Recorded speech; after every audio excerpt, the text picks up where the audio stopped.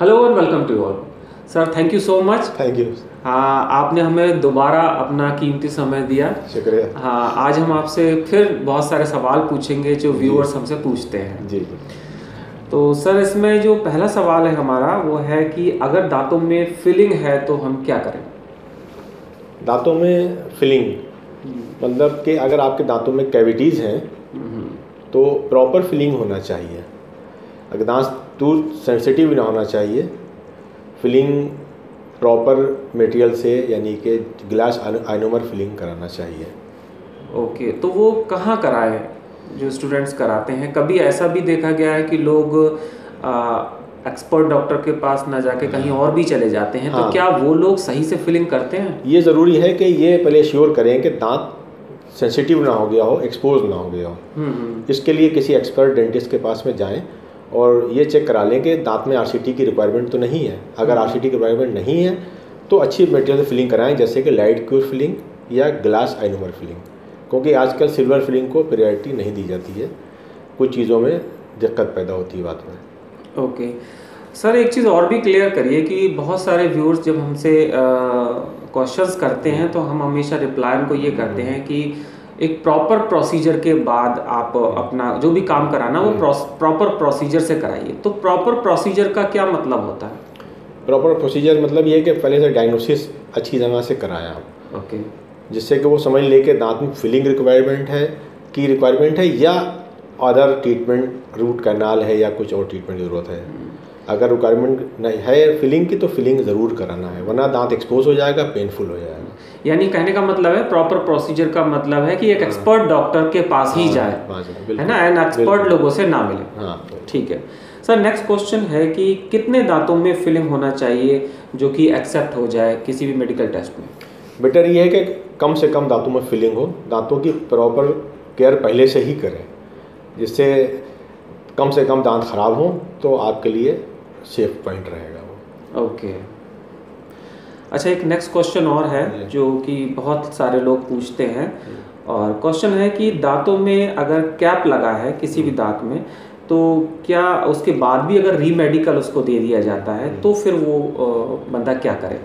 अगर दांत में कैप लगा है तो उसके नीचे आरसीटी होना बहुत ज़रूरी है।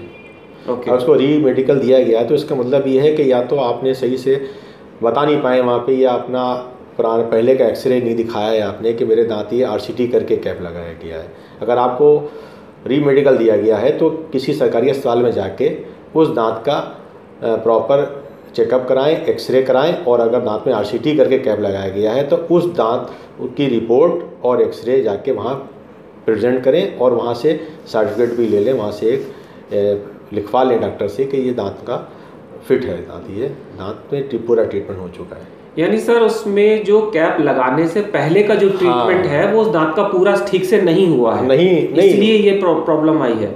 अभी ये नहीं पता है कि मेडिकल दिया गया तो उन्हें श्योर नहीं है कि वो दांत में आरसीटी करी गई है या नहीं करी गई है। तो इसको सॉर्ट आउट करने के लिए आप सरकारी अस्पताल में जाएँ वो दांत का एक्सरे कराएँ एक्सरे में अगर आपकी आरसीटी है तो फिर वहाँ डॉक्टर से मेंशन करा के उसकी रिपोर्ट ले लें वो उस एक्सरे को ले लें फिर वो जाके वहाँ पर रिड्यूस कर दें। Okay. और अगर उस दांत की आरसीटी नहीं हुई है तो उस दांत की आरसीटी करा के रीकैप दोबारा से रीकैपिंग करा दें जिससे और फिर उसकी रिपोर्ट वहाँ पर प्रजेंट करें तो आप मेडिकल में पास हो जाएँगे। पास हो जाएँगे। Okay fine sir next question है कि दांतों में अगर इम्प्लांट है तो क्या करें? लेकिन मैं इसमें एक चीज़ और अपना ऐड क्वेश्चन करूँगा कि कुछ लोगों को इम्प्लांट नहीं पता होता है कि इम्प्लांट क्या होता है क्योंकि वो फिक्स दांतों को इम्प्लांट समझते हैं। तो ये दोनों चीज़ों को हाँ, क्लियर करते हुए बताइएगा। अच्छा क्वेश्चन हाँ। इम्प्लांट मीन्स ये है कि जो दांत मिसिंग है कोई सा भी दांत है तो बोन में एक इम्प्लांट एक टाइटेनियम का एक पार्ट होता है वो बोन के अंदर उसको फिक्स कर देते हैं। वो मसूड़े के अंदर? मसूड़े के अंदर गम हटा के बोन में फिक्स कर देते हैं और जब इम्प्लांट वो फिक्स हो जाता है तो उसके ऊपर ही दांत बना देते हैं। उससे क्या होता है सपोर्टिंग टूथ जो पास के हैं उनमें कुछ नहीं करना पड़ता है। ओके। okay. वरना क्या होता है लोग ब्रिज बनाना पड़ता है। दांत फिक्स लगाने के लिए जो बराबर के दो दांत होते हैं एक आगे एक पीछे उन दांतों पे आरसीटी करके भी क्राउन चढ़ाया जाता है ब्रिज उससे कहते हैं। दोनों साइड में क्राउन होते हैं बीच में दांत फिक्स होता है तो तीन दांतों का एक सेट पूरा बन जाता है। इम्प्लांट में उन बराबर के दांतों को कुछ नहीं करना होता है उस खाली जगह पे ही एक इम्प्लांट बोन में डाल के उसी पे ही दांत बना देते हैं और जो एक्सेप्ट एक्सेप्टेबल है। ओके तो ब्रिज एक्सेप्टेबल नहीं है? ब्रिज भी है अच्छा। लेकिन बेटर ये है कि अब इम्प्लांट की फैसिलिटी आ गई तो इम्प्लांट पे ज़्यादा प्रीफर करें। ओके वो ही ज़्यादा बेटर है वही एक्सेप्ट होगा। हाँ ब्रिज तभी एक्सेप्टेबल है जब ब्रिज वाले जहाँ पे जिन पे दांतों पे ब्रिजिंग करी गई है। उन दांतों की भी आर हो चुकी हो। ओके तो कुल मिलाकर हमें इम्प्लांट के बारे में ज़्यादा सोचना चाहिए हाँ। ब्रिज के बारे में नहीं। हाँ बेटर यही है। है ना? प्रेफरेंस इम्प्लांट को मिलेगी इम्प्लांट लगा रखा है तो बेझिझक होके जाएँ मगर अपने साथ में रिपोर्ट लेके जाएँ जिस डॉक्टर से कराएँ उससे प्रिस्क्रिप्शन लेकर जाएँ जैसे कि इम्प्लांट हुआ हुआ है वो आप वहाँ पे दिखा दें। ओके सर नेक्स्ट क्वेश्चन हमारा है कि ये इसी से रिलेटेड है जो अभी हमने आपसे बात की कि मेरा जो फ्रंट का एक दांत मिसिंग है। ऐसे तो मैं क्या करूँ? कोई दांत मिसिंग हो फ्रंट हो या बैक टूथ हो हम्म, उसको रिप्लेस करना ज़रूरी है। Okay okay. कोई दांत मिसिंग है तो उसका नंबर माइनस हो जाएगा। Okay okay. और फ्रंट दांत खराब है तो देखते ही इंप्रेशन खराब हो जाएगा। ओके और फ्रंट दांत के ज़रिए भी कुछ एक्टिविटीज़ करना पड़ सकती हैं कुछ जॉब हो सकता है तो उसमें भी दिक्कत आ सकती है। तो बेटर ये है कि उसको रिप्लेस कराएँ और इम्प्लांट के ज़रिए करा लें तो ज़्यादा बेहतर बात है। इम्प्लांट लग जाएगा तो दांत एज इट इज़ जैसे पहले जैसा था वैसे ही नज़र आएगा वैसे ही काम करेगा एक्सेप्टेबल है। ओके चलिए thank you so much sir आपने अपना इतना कीमती समय दिया और हमारे व्यूअर्स के जो भी ये सवाल थे आज हमने उन्हें कवर किया है इस वीडियो में।